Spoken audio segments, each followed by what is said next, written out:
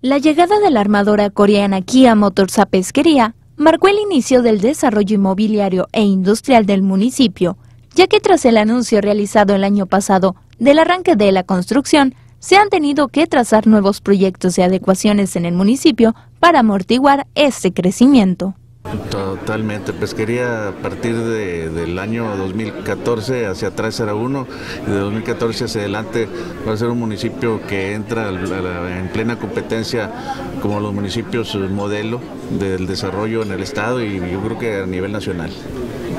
El alcalde José Gloria López informó que días atrás recibió la visita del subsecretario de Vivienda a nivel federal, Alejandro Nieto, con quien revisó las necesidades que se van a requerir en cuanto a viviendas, ya que tan solo en la primera etapa de la armadora se espera cuente con más de 10.000 empleados.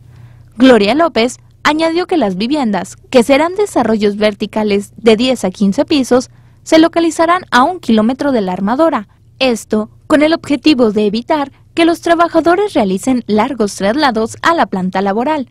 Asimismo, se implementarán espacios públicos, áreas verdes y se espera construir también hospitales y escuelas.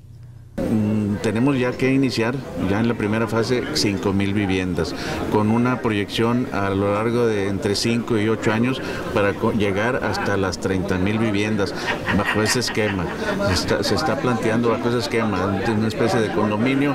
Eh, se están haciendo ahí las, eh, los estudios correspondientes para ubicarlos en los terrenos eh, adecuados que estén acorde al plan de desarrollo urbano últimamente aprobado por el municipio y alineado al del Estado. Por su parte, las ventas de los negocios locales se incrementaron de manera considerable hasta 10 veces más, así lo informó el presidente municipal durante la conferencia que ofreció para la Asociación Mexicana de Profesionales Inmobiliarios y Asociación Civil. El 95% de la gente que presta algún servicio de plomería, albañilería, eh, amas de casa que dan servicios de comida, porque lo están dando, las fonditas, los restaurantes, tienen su, demanda cubierta al 95%, 100%. O sea, esta pesquería, hay una derrama económica a raíz de esta, de, esta instalación, bueno, del proceso constructivo para la instalación de la armadora.